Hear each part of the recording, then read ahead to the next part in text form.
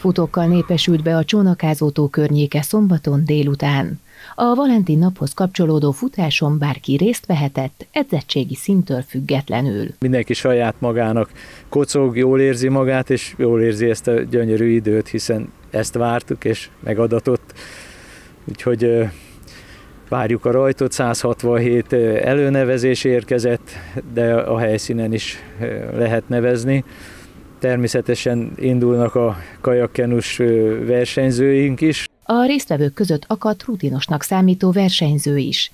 Gyenge Sándor elmondta, hogy immár 5 éve edz, azonban neki nem az eredmény számít, Számára a futás egy közösségi élmény és kikapcsolódás. Kikapcsolódás, vérkeringés, barátok, a társaság.